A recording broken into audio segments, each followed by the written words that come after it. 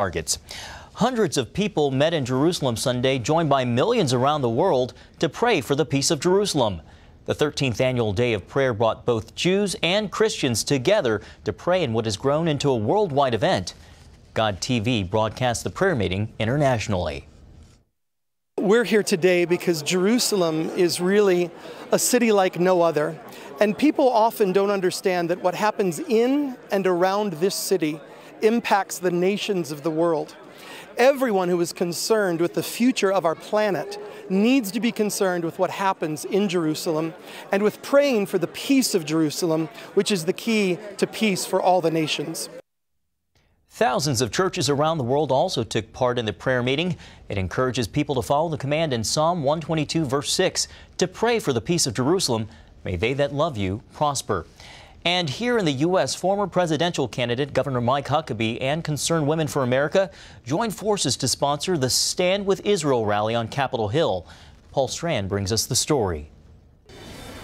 The president of Concerned Women for America explained this rally was birthed when she was in Israel and realized why it's important to support Israel today as it faces enemies who want to wipe it out. She asked herself then if she would have supported Jews during World War II when they also faced the threat of extinction. Had been alive during the Holocaust, what would I have done?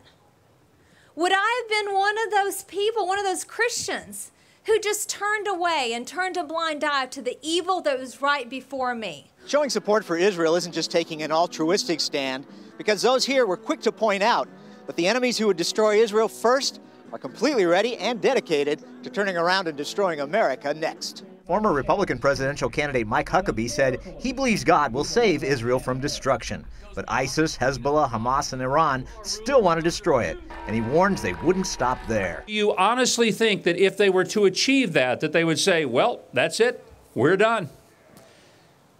Israel isn't the ultimate target, we are.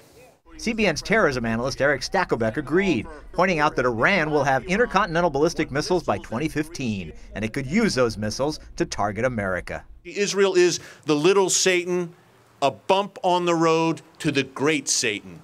Us, their words, not mine.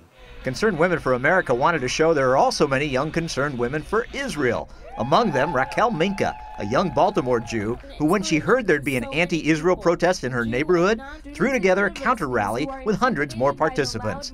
To her, this is personal. My grandparents are Holocaust survivors. They fought the fight. My dad is a wounded IDF veteran. He fought the fight.